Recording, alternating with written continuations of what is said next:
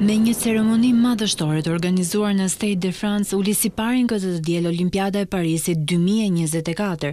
Në stadiumin e mbushur plot u këndua njëzëri hiti i Edith Piaf nën qiellin e Parisit, poshtë balonës me flakë olimpike që qëndroi e ndezur për pesëmbëdhjetë ditë. SHBA dominoi për të katërtin edicion radhazi në Lojërat Olimpike të Parisit duke ndaluar rikthimin e Kinës në majë për herë të parë që pas Pekin dy mijë e tetë. Në vendin e tretë u rendit Japonia me njëzet medalje të arta, e ndjekur nga Australia me tetëmbëdhjetë dhe Franca me gjashtëmbëdhjetë. Me triumfin e basketbollistëve amerikanë në finale ndaj francezëve Shtetet e Bashkuara të Amerikës dolën në vend të parë me dyzet medalje të arta, dyzet e katër të argjendta e dyzet e dy të bronzta, ndërsa Kina fitoi nëntëdhjetë e një medalje gjithsej.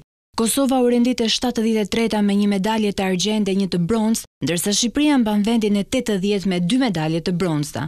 Organizatorët e Olimpiadës thanë se Franca ka qenë e bashkuar dhe e lumtur përgjatë dy javëve të mbajtjes së Lojërave Olimpike, ndërsa ka pasur shitje rekord të biletave me sportdashës nga e gjithë bota.